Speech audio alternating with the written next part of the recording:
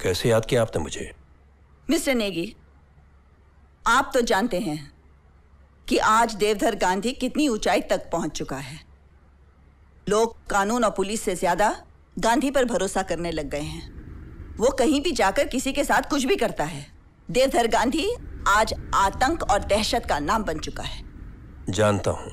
वो हर मामले में बच जाता है क्योंकि उसके खिलाफ कोई सबूत ही नहीं मिलते। अरे उसके खिलाफ कोई बोलने को तैयार नहीं होता। हमारे क्राइम सेल के इंचार्ज मिस्टर राठौड़ हैं, जो आज तक गांधी पर अंकुश लगाने में नाकाम रहे हैं। मैं चाहती हूँ कि वो फ़ाइल मिस्टर राठौड़ के पास रहे, लेकिन केस आप ऑपरेट करें। ये रही उसकी फ़ाइल इसमें उसके सारे डिटेल्स मिलेंगे।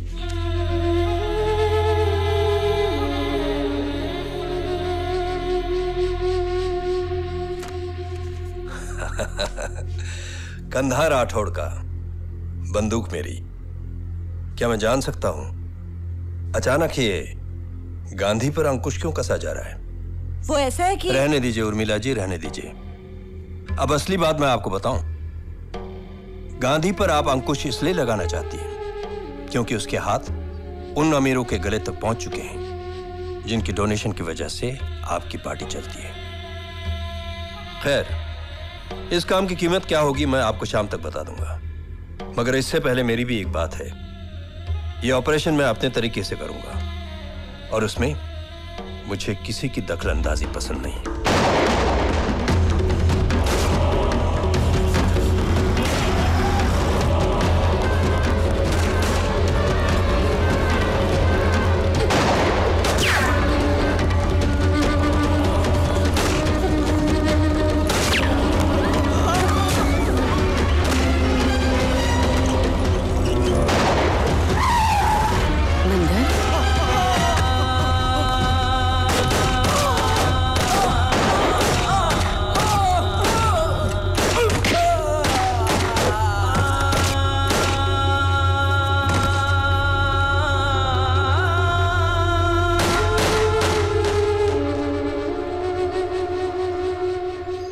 बातें कर रही है माँ?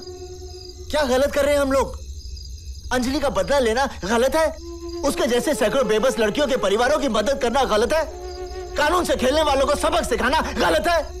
माँ वो लोग हमें बदनाम कर रहे हैं। झूठे केसेस बना रहे हैं हम पर। मेरे दोस्तों को कुत्तों की तरह मारा जा रहा है। और तू कह रही है कि शहर छोड़कर चले जाए? तू कुछ गलत नहीं कर रहा है कुछ नहीं। लेकिन फ़िलहाल हमें इस शहर को छोड़कर जाना है देवधर। नहीं माँ। ये शहर छोड़कर नहीं जाएँगे हम लोग। तू आज ये बात इसलिए कह रहा है ना, क्योंकि मैं तेरी सौतेली माँ हूँ। जानता है इस घर में आने से पहले मुझसे क्या कहा गया था? सीता उस घर में एक तीन साल का बच्चा है, जिसे संभालने वाला कोई नहीं है। मैं इस घर में किसी की बहू या बीवी बनकर नहीं आई थी।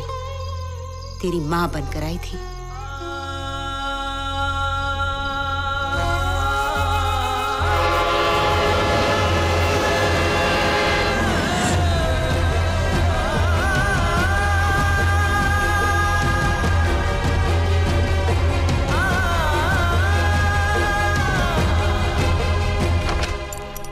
आपकी रजिस्ट्री आई है।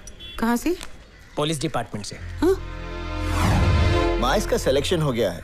जाने देना इसको इंटरव्यू के लिए। इसकी हिम्मत कैसे हुई? देवा एक तू है। जो घर से बाहर जाते वक्त भी पूछ कर जाता है। और एक ये? मतलब कि पुलिस में जाने का फैसला कर लिया मैं बताया तक नहीं? इसीलिए नहीं बताया कि तुम मना कर दोगी। तुझे क्या लगता है? तू अकेले सिस्टम को ठीक कर देगा? तू नहीं जाएगा पुलिस में। मैंने फैसला कर लिया है कि मैं पुलिस में जाऊँगा। देखता हूँ तुम कैसे रोकती हो मुझे। उल्टी बात मत कर। सॉरी भैया।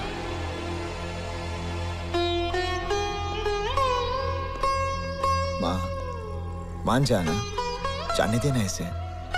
मैं तो बस इतना जानती हूँ देवा कि अगर ये पुलिस में गया तो पुलिस हमारे घर आएगी।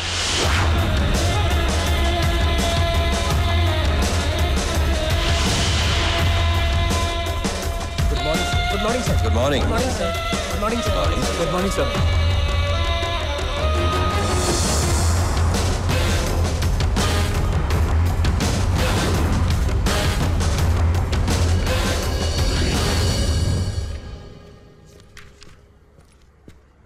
Yes, sir.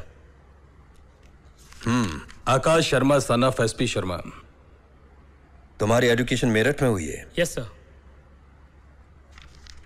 भाई तुम्हारे सर्टिफिकेट्स बता रहे हैं कि तुम एक अच्छे स्टूडेंट ही नहीं बल्कि बहुत अच्छे स्पोर्ट्समैन भी हो। You had all the options ये पुलिस फोर्स से क्यों? मैं पुलिस फोर्स की बहुत रिस्पेक्ट करता हूँ सर और मैं समझता हूँ कि समाज में पुलिस की भूमिका बहुत अहम है। अच्छा तुम्हारे इस डिसीज़न पर तुम्हारे फादर का क्या रिएक्शन था? मेरे फादर नहीं है सर ओ। मेरे बड़े भाई ने मुझे बहुत सपोर्ट किया है सर तुम्हारे बड़े भाई क्या करते हैं? जी वो रिक्शा चलाते हैं। आई सी भाई एक रिक्शा चलाने वाला आदमी अपने छोटे भाई को इस तरह पढ़ा लिखा कर इस मुकाम पर पहुँचा है ये तो बहुत बड़ी बात है।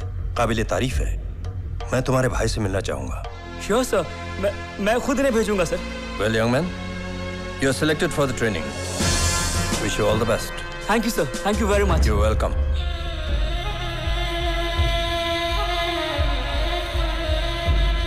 भैया भैया मैं सेलेक्ट हो गया। अच्छा। भैया मैं सेलेक्ट हो गया भैया मैं सेलेक्ट हो गया। मेरी डिग्री देखकर सर बहुत खुश हो गए। आपके बारे में पूछने लगे। और जब मैंने उन्हें ये बताया कि मेरा भाई रिक्शा चलाता है तो वो और ज़्यादा खुश हो गए। इनफैक्ट वो तो आपसे मिलना भी चाहते हैं। ठीक है मैं उन्हें मिल लूँगा। लेकिन पहले जाकर माँ को ये खुशखबरी दे। ओके भैया।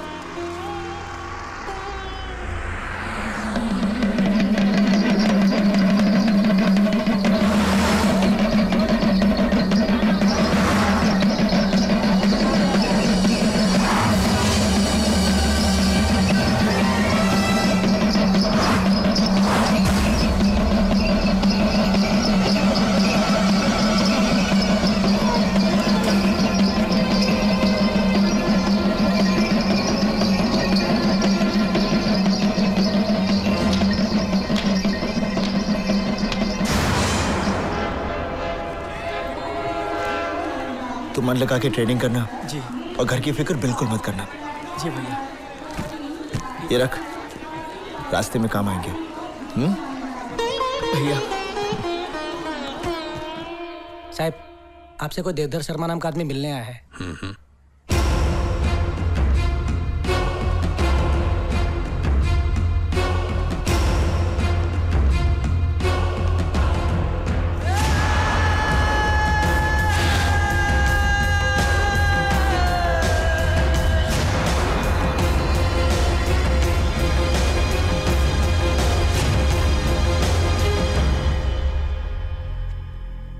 नमस्ते। नमस्ते।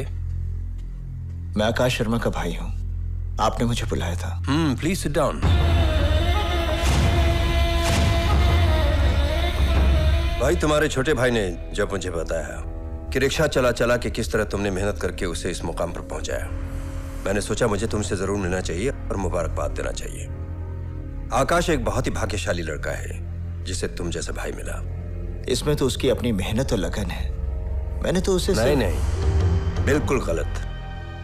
अगर तुम्हारा सपोर्ट नहीं होता तो उसे इस मुकाम पे आने में बहुत देर लगती। Now he is been selected wish you all the best thank you